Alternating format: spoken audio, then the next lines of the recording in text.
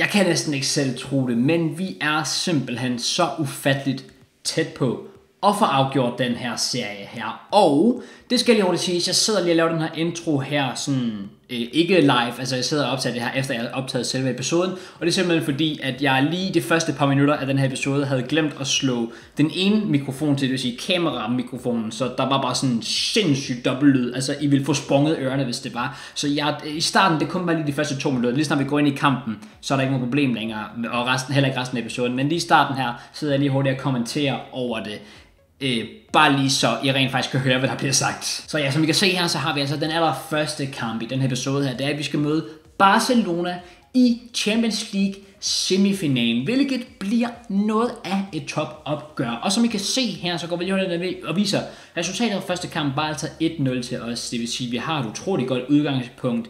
Bare et enkelt mål fra vores side af, så skal Barca op og score 3 for at gå videre. Så øh, det er igen virkelig, virkelig fint udgangspunkt. Og som vi kan se nede i den anden kamp, hvis vi går videre mod Barcelona, så skal vi møde Borussia Dortmund i finalen. De slog altså Real Madrid samlet 4-3. De vandt kampen der mod dem sidst 2-1. Det vil sige, deres første kamp blev 2-2, så det har været to utroligt tætte kampe. Og det var også en rigtig, rigtig tæt kamp, der var i første, eller i første kamp mellem, mellem os og Barca. Og lad os bare krydse fingre for, at det bliver lige så tæt i den kamp, vi skal til at ind i nu her. Som I kan se, jeg så var lige at tage et kig på, hvordan vores kalender så ud også. Og øh, ja, faktum er, vi har lige nu fem kampe, der skal spilles. Vi har den anden kamp mellem os og Barca, så har vi Brighton i ligaen, vi har West Brom i ligaen, vi har den sidste ligakamp, som er på hjemmebane mod Manchester United, og så har vi FA Cup-finalen mod Manchester City. Men det skal jo siges, at hvis vi slår Barca ud i den næste kamp nu her, så skal vi også spille en vaskeægte Champions League finale. Det vil sige, at hvis, ja, lige pt. har vi fem kampe tilbage. Hvis vi slår Barca ud, så er det seks kampe, vi har tilbage i alt. Så det bliver om ikke andet utroligt spændende. Og det skal jo også siges det her med, at de her kampe øh, mod West Brom og, og Brighton for eksempel, altså der, der er ligaen jo afgjort. Igen i sidste episode, meget antiklimatisk løftede vi Premier League trofæet. Og det betyder også, at jeg vil prøve at forsøge det her med, som jeg sagde i sidste episode også, med at sætte niveauet op på ultimativ og så slå, eller undskyld, niveauet har været på det ultimative i nogle kampe nu, men jeg vil slå det der modstandertype til. Øhm, og det kommer til at gøre mod øh, Brighton. Jeg gør det faktisk allerede i den her episode her, og så gør det også i næste episode mod øh, West Brom. Så det er bare lige så I er med på den, fordi så får vi lige prøvet det af. Der var en anden, der skrev i kommentaren, at det åbenbart var sværere at spille på legendarisk, og så slå modstandertype til. Det er ikke helt styr på, men øh, den tager vi til den tid i hvert fald. Jeg nævner det også selv senere i videoen, så der kan, der, der, der kan I lige høre, hvad det er, jeg siger til den tid. Men øh, ja, om ikke andet, så er det altså de kampe, vi skal spille. Og så kan I se holdopstillingerne her. Altså der er ikke nogen tvivl om, vi er stillet absolut stærkest muligt op. Så stærkt som vi overhovedet kan. Vi har Kepa på kassen, Aspilicueta, Silva, Rüdiger og Chilwell nede i forsvaret. Vi har Kanté, Modric, Verratti og Ziyech på midtbanen. Og selvfølgelig Werner Havertz op i angrebet. Igen, der er ikke en spiller, vi kan skifte ud her til fordel for en spiller, der er højere rated. Det er det højeste rated hold, vi kan stille her. Straight up. Barca har en lidt sjov holdopstilling, hvor jeg faktisk lige sådan, at de har nogle sjove spillere. Altså, de har hentet Bonucci, de Digne, Pogba, Jamie Vardy. Jeg ved ikke om der August, August om det er ham der Renato Augusto, det er lidt tvivl om, men øh, basically, så er det en meget sjov holdopstilling. Så ja, der er faktisk ikke så meget andet at sige. Vi spiller selvfølgelig på ultimativ mod Barca også, men der er ikke slået det her modstandertype til. Den er slået fra i den her kamp her, bare lige så vi er med på det i hvert fald. Men ja, det er så her, hvor jeg rent faktisk, altså, hvor I kommer til at høre min live commentary over kampen, fordi der opdager jeg det her med, at jeg kom til at slå min anden mikrofon til. Så ja, øh, andet er der ikke at sige herfra, end selvfølgelig bare nyd videoen. Og en god takling. Det er simpelthen en vanvittig takling. Og så skal vi have et løb fra Timo Werner. Ah, han følger altså godt med forsvarsspilleren. Får den her i stedet for Hakim Ziyech. Får den ud til Timo Werner. Ved du hvad, lad os prøve, lad os prøve at slå den ud fra. Okay, okay, det er fint nok.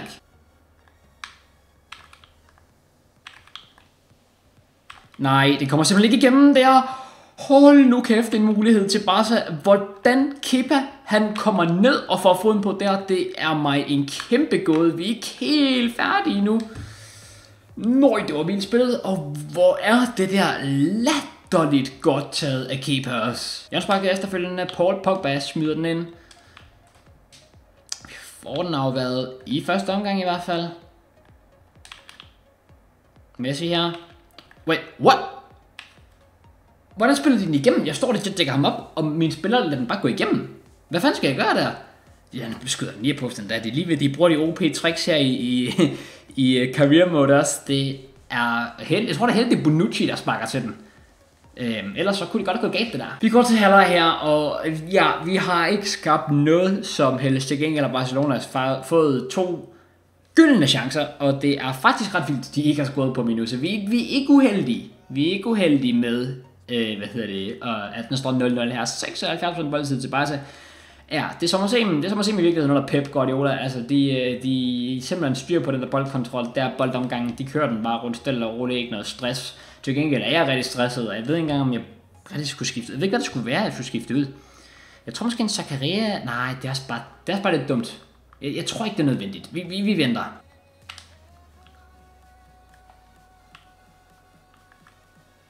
Der no way, no way, du kan komme igennem så let. No way, du kan komme igennem så let. Luka Modric, please, man. Kom ud til Osmane Dembélé hurtigst muligt. Ja, tak. Sindssygt lavet. Ikke knap så sindssygt lavet i anden omgang. Det er en god bold. Det er en god bold. Kepa kan ikke komme ud til den. Hvad fanden er det, jeg laver? Hvad er det, jeg laver? Jeg vinder bolden på et rigtig, rigtig godt øh, sted. Og så giver jeg den. Jeg giver den direkte til Barca. Jeg giver den bare til dem. Jeg giver målet væk. Det er fuldstændig elendigt lader mig, det der. Åh oh, gud, nu kan det hurtigt, nu kan det hurtigt blive farligt. Nu kan det hurtigt blive rigtig, rigtig farligt, det her. Oh my god! De var lige ved at få et mål, legit, på noget, jeg ikke har nogen som helst kontrol over. Hvis de havde scoret der, så havde jeg ikke været særligt tilfreds. Lad os bare sige det sådan. What the fuck? Oj, Hakim Ziyech. Det er rigtig, rigtig heldigt det der. Det skal vi også med. Oj, og den kommer her. Hvem er det til? Jeg ved ikke, hvem det er. Verratti sparket ud fra. Den bliver lige rettet af. Efterfølgende Jørgen Spark. Jeg ved ikke, hvor smart det er, det Kai Havers, der tager dem faktisk. Men Oh my god, den havde kurs mod mål, den der. Den havde simpelthen kurs mod mål, men den bliver lige rettet af af en Barca-spiller.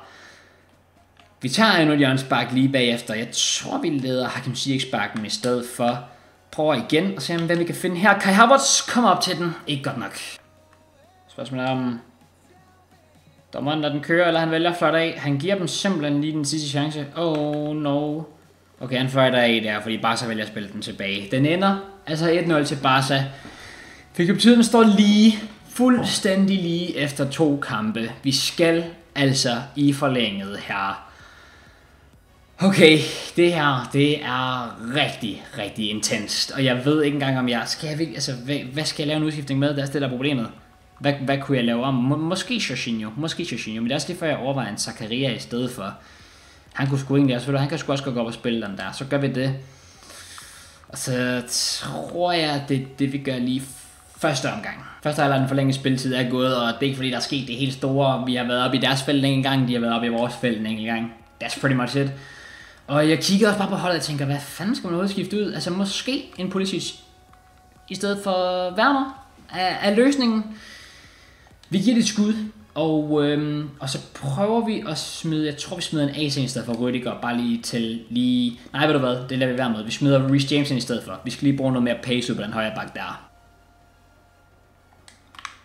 Åh, oh, come on. Jeg troede lige, vi kunne være heldige at få den med os der. Og ja, Barca har bare kørt den rundt meget sikkert lige siden. Og det er godt spillet. Kan vi få den der væk? Der var offside. Okay, jeg, jeg tror lige snart vi sparker den her op, så bliver der sikkert fløjtet af. Så øhm, nok ikke fordi... Wow, wow, wow, wow, wow, okay. Bygge nu det hele store der. Igen her i anden halvleg af forlænget spilletid har der ikke sket sådan det helt store. Øhm, igen, vi havde en lille mulighed op i deres felt, men der har ikke været nogen afslutninger, pretty much. Så ja, den ender altså fuldstændig lige, og vi skal nu i en strafspark, jeg kan slet ikke, jeg kan slet ikke holde til det. Eller for spark, Antoine Griezmann, og han sparker den rimelig sikkert ind. Luka Modric går til den. Vi sparker den bare i midten her. Jeg har på fornemmelsen, den faktisk bliver stående. Gør den heldigvis ikke. Sparker den ind 1-1. Mitralium Pjanic slår til den. Og pff, what? Nogle straffespark, de smækker ind her, bare så, okay, Kai Havertz slår til bolden her, og den tager han til stikken. Fuck. Dembélé løber til den. Og vi tager den også. Come on, man. Nu kan vi udligne ved at score. Her Hakim Ziyech løber til den. Smækker den bare ud til venstre. Og den sidder stensikkert, den der. Jeg var lige ved at være bange for, at det var for meget. Lionel Messi, han rammer overlæggeren det var ligesom mod Chelsea tilbage i Champions League finalen 2012. History repeats itself. Come on, Christian Pulisic sparker til den ude i højre side her, og han sparker den sikkert ind. Og hvis vi tager den her nu, så er vi sikret at være i Champions League finalen. Come on, Bonucci løber til den, sparker den ind. Hvis vi scorer her, så er vi i Champions League finalen. Thiago Silva er alle okay. Vi går med den. Vi laver den. Den sten stensikrer. Oh my god, vi fucking gør det. Boys and girls, vi chipper den. Vi laver Panenkaen. Thiago Silva afgør det, og vi er i Champions League-finalen på den mest intense måde nogensinde. Det kunne jeg, det kunne jeg godt, jeg kunne godt undvære alt det her. Jeg kunne godt have undværet alt det her. Lad mig, lad mig lige, øh, lad mig bare lige gøre det klart. Det her, det var en forfærdelig oplevelse. Det var simpelthen så utroligt tæt. Og Barca havde også den der mulighed der, hvor de måske egentlig burde have scoret til, til 2-0. Og så gør vi det altså her. Slår dem ud på straffesparks konkurrence. I can't believe it. Vi er i Champions League-finalen på den mest intense måde nogensinde. Ja, fra Barcelona til, hvad nogen måske vil kalde Premier League svar på Barcelona, og nogen vil nok også grine, når man siger det, men det er Brighton, vi skal møde i den næste kamp. Okay, det var den mest random måde at referere til Brighton på, men der, ja, folk sammenligner dem med dem, øh, på grund af deres ikke deres spillestil, men den spillestil, de gerne vil forsøge at skabe i, i hvert fald. Vi skal altså møde dem her i Øh, hvad, der er, hvad var det så vores... Ja, det er vores tredje sidste kamp i Premier League i den her sæson her. Som sagt, vi er sikret øh, sådan, altså suverænt at vinde ligaen. Øh, så som sagt, vi møder Brighton, ligger nummer 15, ikke det stærkeste hold. Vi prøver at stille den op på ultimativ og slå modstandertype til. Det er absolut højeste niveau, man kan stille den på. Og så må vi se, hvordan det går. Det kan godt være, at vi stiller den op på det sværeste mulige, den sværeste mulige sværhedsgrad, men øh, ikke fordi vi har holdopstillingen, der ligefrem matcher det. Bogstaveligt talt, jeg har skiftet samtlige positioner ud, som jeg kunne. Lige på nær Timo Werner, der selvfølgelig stadigvæk, øh, stadigvæk starter. Øh, og så Luka Modric også, men ellers udover det, så, altså selvfølgelig kæben, det giver, det giver god mening, men, men udover det, så er det altså fuldstændig spækket med øh, reservespillere, fordi først og fremmest så er næsten alle fra førsteholdet helt færdig. Øh, hvad hedder det? Jeg slet ikke noget energi tilbage. Men så også bare fordi, ja selvfølgelig, det giver ikke nogen mening, at øh, jeg bruger dem her og risikerer, at de bliver skadet, og de bliver trætte osv. Der er ikke nogen grund til det overhovedet. Så derfor stiller sådan her op med keeper på kassen. Hvad hedder det? Reece James, Zuma, AC og Emerson nede i forsvaret, sammen med Zakaria, Modric, Jorginho og Mount på midtbanen, og så er der altså Timo Werner og Tammy Abraham op foran. Og jeg tror faktisk lige hurtigt, at jeg går ind og bytter rundt på de to en gang der, og øh, selvfølgelig, selvfølgelig så skal AC også have anførbindet, det, det, det, ved vi jo. Og så kan jeg også bare lige se bænken en gang. Altså det er Christian, øh, Christian Bullis altid på, undskyld, men Hudson Odoi, det er Nikolas, det er Tomori, det, det er, øh, ja, og som I kan se spillerne her, de, de, de er pænt trætte, så det er derfor, vi gør det på den her måde her. Så ja, spændende, det bliver det i hvert fald. I hvert fald sige én ting, efter allerede at have spillet på det her i sådan 10 minutter. Det går ed og med stærkt. De spiller rigtig, rigtig hurtigt. Det er meget svært at følge med. Åh, oh, den han da den der. Come on. Ej, det er godt spillet. Og ja, det er også sindssygt godt taget af Kepa. Ed og med en god redning. Ah, come on. Godt spillet igen. Brighton. Shit, det går stærkt.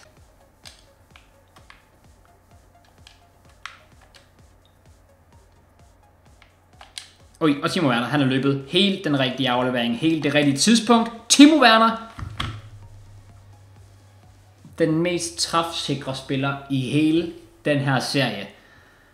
Og så vælger han lige at spille, som man gør i virkeligheden, og brænde en kæmpe chance. Der kunne vi simpelthen have gjort det til 1-0.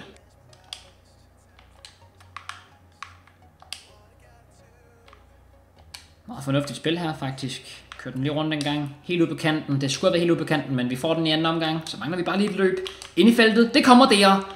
Det er lige ved Brandspilleren selv hælder den ind i mål. Så bliver der først til halvleg her. 0-0 står den. Og hvis der er én ting, jeg skal opsummere den her halvleg med, sådan, ud fra det her med, at vi har sat den op på ultimativ og på, øhm, eller den har altid været på ultimativ, eller den har været, den har været længere i hvert fald, men det her med, at vi har sat modstandertype til, det er virkelig bare det her med, at du kan godt mærke, ja, at det, er, det går hurtigere, det er klogere beslutninger, de tager spillerne. Det, der så også er rigtig irriterende, det er, at der står det der med, at ja, når du sætter dem på det der modstandertype, så prøver de ligesom at simulere pro-spillere og deres måde at spille på. Det kan man godt se, fordi det er legit bare det rent tryhard. Det er røvsygt. Det er bare køn rundt, køn rundt, køn rundt, køn rundt, køn rundt, køn rundt. Altså, det, det, er faktisk virkelig, virkelig kedeligt. Og det, det er sådan lidt nederen, fordi det er udfordrende nok, men det er også bare sådan lidt... Um, lad os sige, at jeg snorks over i hvert fald en gang imellem. Men uh, anyways, vi skal lave et par udskiftninger. Man kan selvfølgelig så også sige, at det hjælper os ikke, at vi spiller mod dem med nærmest rent reservehold. Altså det, det gør det jo ikke ligefrem nemmere i hvert fald. Uh, så det må man selvfølgelig også lige tage med, skal jeg huske på. Men uh, lad os lade på udskiftninger her. Og så alligevel faktisk, er det virkelig nødvendigt endnu, når den stadig kun står 0-0. Jeg tror faktisk lige, jeg venter.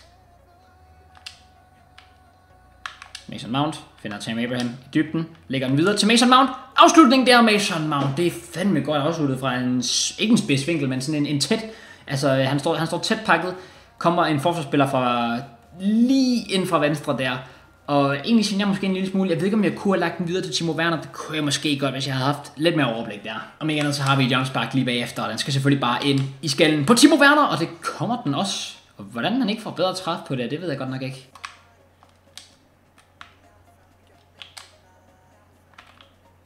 Det var nok ikke helt den rigtige idé at smække den der på Mason Mount. Det er det godt lavet til gengæld. Uh, en kontramulighed her. Er det lidt synd, det Tammy, der, øh, der tager løbet? Det skulle gerne have været... Oh, oh my god, og så alligevel Tammy Abraham! det der, det er simpelthen så latterligt et mål. Men jeg er samtidig så pissehammerende ligeglad. Det, jeg ved ikke lige, hvordan det der kan sig gøre. Men det er så heldigt, som noget kan være. Timo Werner, der dribler legit straight ind i forsvarsspilleren på mirakuløst vis, så havner den bogstaveligt talt perfekt i fødderne på Tammy Abraham, der bare skal sparke den ind. så gør vi det til 1-0. I'm sorry to say, jeg har virkelig under Brighton. De har spillet godt den her kamp, og jeg har så også sat den op på et højeste niveau. Men stadigvæk, de, de, de burde have scoret en base, måske to, og så får vi sådan et mål der. Men øh, ja, det, det skal der også tænke gang imellem. Nå, men så kan vi lige hurtigt få lavet tre udskiftninger. Jeg synes, det er rimelig oplagt. Vi smider lige en Tomori ind i stedet for AC. Vi kører Nikolas i stedet for Modric smider lige bytter lige rundt på Modri, eller på Mount og Nicolas. Og så tror jeg, at vi kører en Hudson Odoi i stedet for Werner. Så ja, det er de tre udskiftninger, vi laver, og øh, at, at, at, vi, vi var rigtig heldige der.